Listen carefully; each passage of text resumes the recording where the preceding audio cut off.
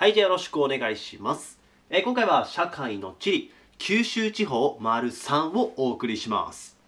で、前回までに福岡、えー、と佐賀、長崎と熊本とね、やってきましたので、まあ、その続き、今回は3つの都道府県を取り上げていきます。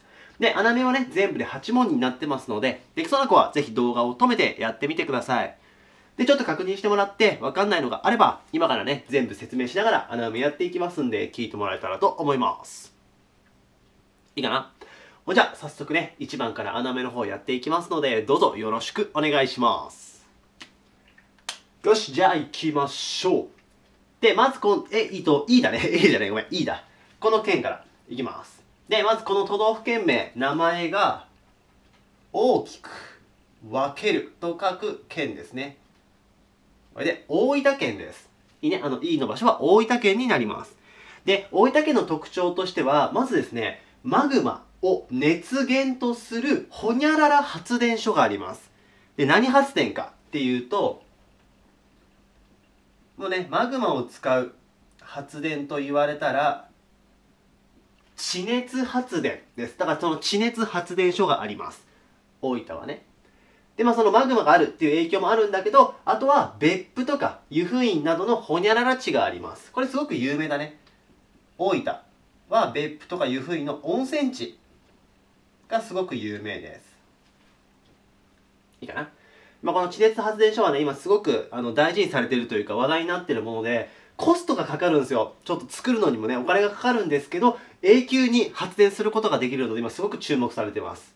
この地熱発電ね。まず、これが大分。では次、F に行きましょう。その南、下に下がってもらって、あの F、青のところの都道府県が、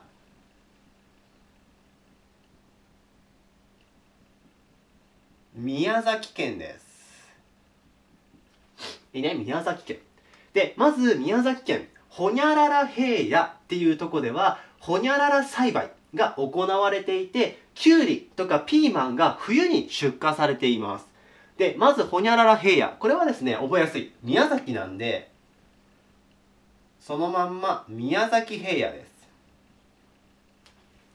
いいね。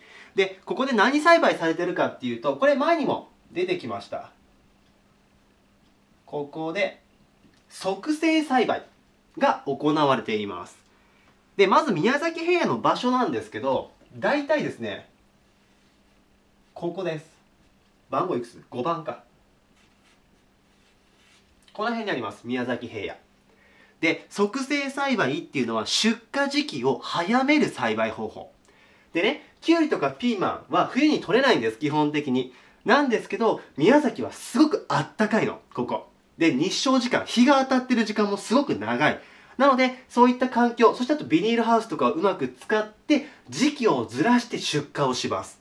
で、時期をずらす。他のとこでは取れないので、そういう時期に出荷すると値段もね、いい値段で売れる。だから元が取れるんです。いいかな？ビニールハウスとか使うとね、お金がかかっちゃうんだけど、それでもね、こっちで元が取れる。そういう栽培をしています。で、ちなみになんですけど、今回問題にはなってないんだけどね、えっ、と、赤でいくかな。で、場所で言うと、大体ですね、あこの辺です。ここ。ここに、大きな産地があります。で、ここを九州産地っていうのがあるので、その名前も覚えておいてください。そこに九州産地があります。いいかな？では、最後に G です。またね、ちょっと南に行きます。ちょっと飛び飛びになってますけど、いっぱい島もあるんでね。で、そこの都道府県名が、鹿に、こう書いて、鹿児島県です。いいね、鹿児島県。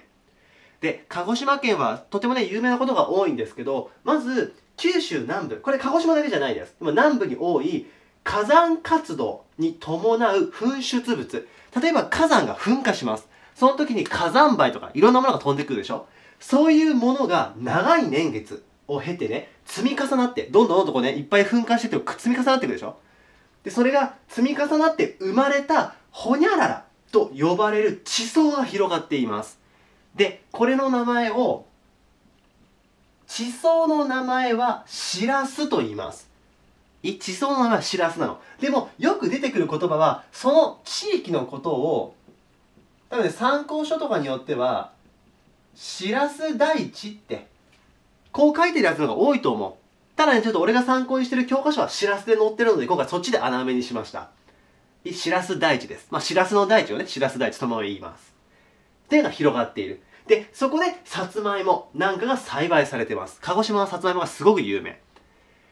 で九州地方丸1の時に北部は稲作。ね稲です稲。で南部に行くと畑作。そして畜産っていう話をしました。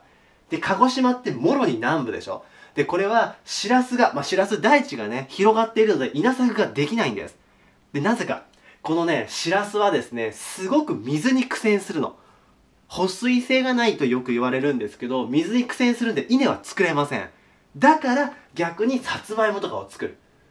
で畜産もでやってて鹿児島は黒豚豚ですね。黒豚がすごく有名です。いいかな？そういった特徴があります。だから南部はね畜産そして畑作が有名だと。九州はね。であとはですねこれは書けるとこあるかな？ちょっと名前を覚えてほしくってこの2つの島です。でまず右。右がこれ歴史でも出てくるね。そこが種子島です。いいか右が種子島。で左側。どうしようかな。ここに書くか。ちょっと、ね、飛び飛びでごめんなさいね。左側これが屋久島です。こっちね。でこう。種子島屋久島。そしてここは奄美諸島なんでちょっと切れちゃったんですけど奄美諸島もあります。まあ、そういった有名な島もいっぱいありますので、ぜひね、名前の方も覚えておいてください。そして、一番、鹿児島で覚えなきゃいけないのが、ここで、ちょっと青で塗るよ。ここ。ここは、桜島と言います。で、今でも噴火活動、まあ、火山活動ですね、を続けている。それの影響もあって、鹿児島はすごくシラス台地が広がってる。鹿児島の50%以上がね、シラス台地と言われているので、それぐらい広がっていると。だから逆にねこういうのが、ね、発展してるんだけどね。さつまいもとか黒豚のね畜産なんかが。いいでしょうか。では今回は社会の地理九州地方丸3をお送りしました、え、今回もね見ていただいて本当にありがとうございました。で次回丸4で九州地方終了となりますのでもしよかったらね次回の方も見てみてください。ほんじゃ今回はこの辺で終わります。以上です。ありがとうございました。